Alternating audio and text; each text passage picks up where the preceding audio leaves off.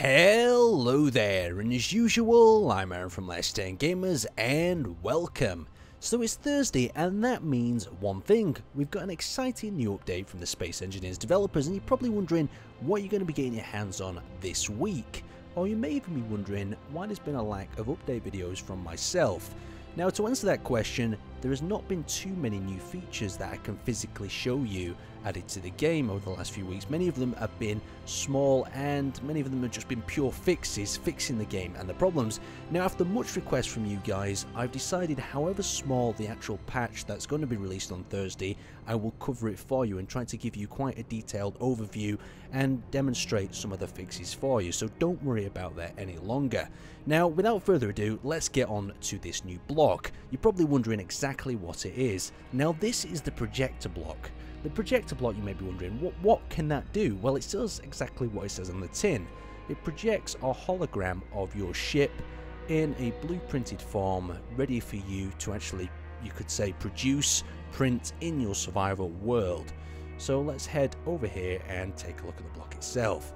Now first off, we're going to access our G menu and we're going to see the projector block here. That doesn't require too much to actually build and we've already added it to our hotbar. So before we place it, there's one thing we need to take into consideration is the direction of this block.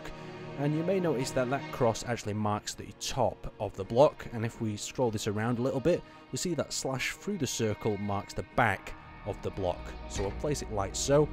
That will be facing outwards in that direction. Now let's have a look at the controls that this block offers. So we'll add the nuclear reactor there and we'll select the projector block. So first off, you'll notice that we have a blueprint button, and from this blueprint button we can pretty much select whichever blueprint we want regarding that it's a small ship. So first off, we're going to just pick one of the Henry variants, we'll pick that big engine one here, and we're going to project it like that. So now that's been projected, and it's going to be able to be printed as a sort of hologram if we wish we can actually get a welder out and start building it with a few more controls and edits to it First off, let's have a look at some of the controls. So we've got horizontal offset, so that is going to move it along a horizontal plane in negative and positive.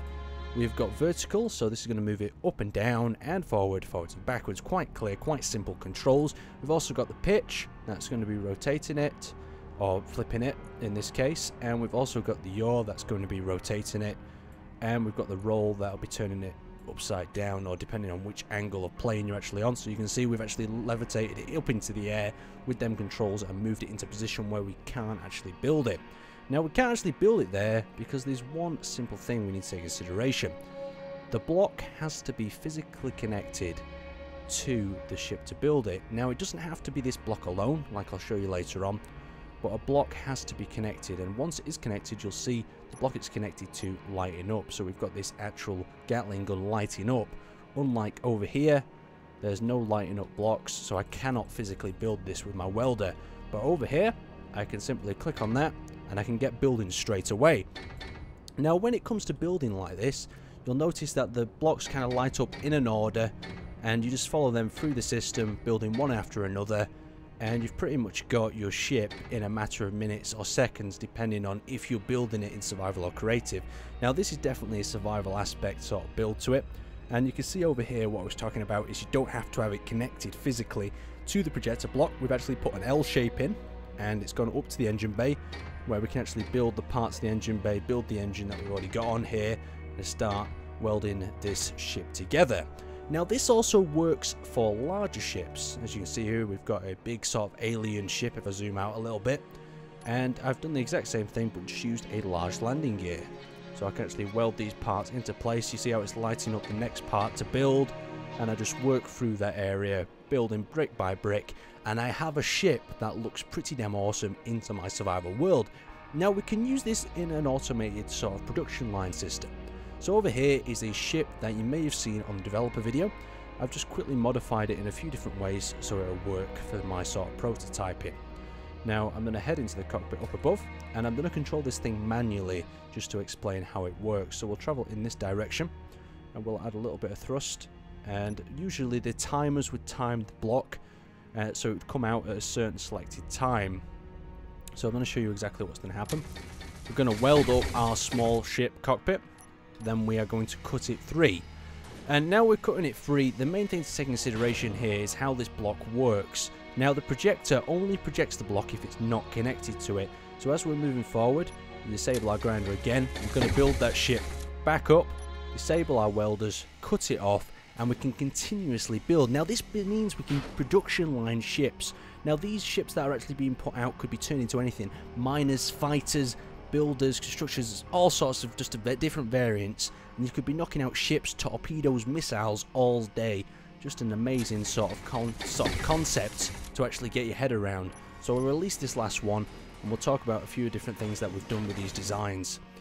Now, when we're actually building something like this, we don't have to stop here. We could build a much larger ship and have different stages, so we could produce it out to one area here, then we activate it on a timer block, and we get a really complicated ship built out from this very simple start. But for so on, I'm going to actually just show you some upgraded parts of the ship. Now, if your ship happens to become damaged, or you want to simply upgrade it, it's as, it's as simple as literally stepping it inside, looking around your ship, and we go, oh, I think we'll turn this into the mining version today. You want to toggle this on, access your blueprints, and I've got one that says upgrade somewhere in this menu. So you can select upgrade. I'm going to select OK on the upgrade. And you can see that it's put the hologram around the ship. So I can go, yeah, I think I'm going to turn this into the grinding variant or the welding variant or whatever you want of that ship. And you can hop out. And once you've hopped out, you get your welder out and you can start building away. But obviously that hologram has just disappeared because I did not select. Okay, so we'll re-establish that hologram. Select the upgrade. And select on on that and we'll hop out and we can actually start building the upgraded parts onto our ship. Now this is going to add to so many different sorts of possibilities for your ships. Now imagine this, you have a mine layer just like this ship over here and as it's flying along it's building and constructing mines that dropping out behind it into space. You could also have that with a missile system. You could have one of these welders and these construction components and the hologram producing missiles, cutting the missile off, firing it straight away. Now if you have one of them, it might not be that effective, but if you had five or six of these producing missiles and then firing them at a target, it could be absolutely devastating. Now the final thing that I want to show you in today's patch is pivot points.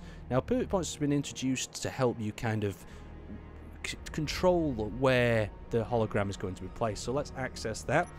Now the best way of controlling this is in creative mode and you'll notice that lots of pivot points are formed on this different object. So when you place a new object into the world, like a small ship for instance, you will see that we've got the pivot point there at the bottom.